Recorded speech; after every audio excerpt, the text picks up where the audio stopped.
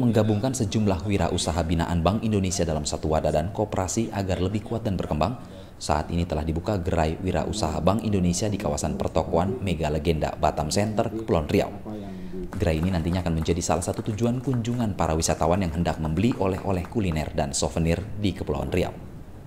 Anggota kooperasi ini merupakan binaan program wirausaha Bank Indonesia yang telah berjalan selama lima tahun. Dengan perizinan dan standarisasi yang dimiliki, wirausaha yang tergabung dalam kooperasi Wubi ini akan mampu bersaing di pasar yang lebih luas dan menembus pasar ekspor. Kepala Bank Indonesia Kepulauan Riau Gusti Raizal Eka Putra mengatakan, setiap tahunnya Bank Indonesia telah melakukan pembinaan terhadap 25 hingga 30 wirausaha baru. Sebagian besar kooperasi wirausaha yang dibina merupakan usaha kuliner dan souvenir. Untuk wirausaha kuliner, permasalahannya adalah produk yang tak bertahan lama. Gerai yang memiliki mini factory ini akan menjadikan produk makanan dapat bertahan hingga 2 tahun. Dengan demikian produk mereka bisa bersaing dan masuk ke pasar retail modern maupun ekspor.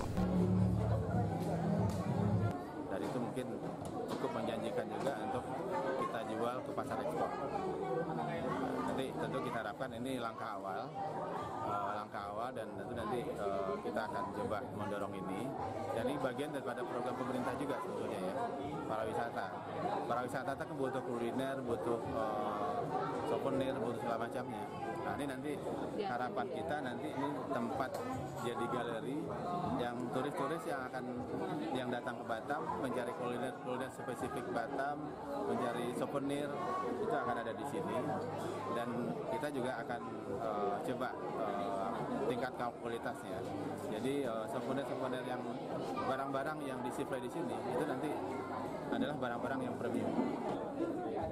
Dari Batam, Kepulauan Riau, Andri Sofian Tribrata Tiki, salam Tribrata.